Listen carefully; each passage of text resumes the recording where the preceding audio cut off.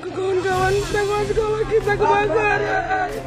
Gedung SMPN 20 di Kelurahan Terjun, Kecamatan Medan Marelan, Kota Medan, Sumatera Utara, terbakar, Kamis, 15 Agustus 2024. Peristiwa ini sempat heboh di media sosial.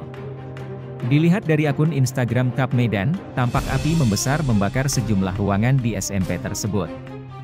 Perekam video menyebut bahwa petugas pemadam kebakaran sedang dalam perjalanan menuju lokasi kejadian.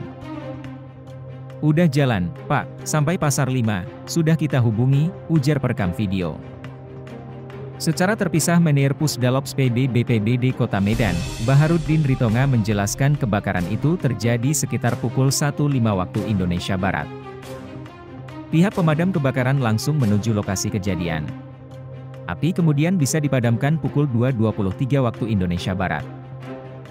Objek terbakar empat ruangan belajar, satu ruangan perpustakaan dan satu ruangan koperasi SMP Negeri 20 Kota Medan dengan persentase terbakar kurang lebih 60%, ujar Baharudin dalam keterangan tertulisnya.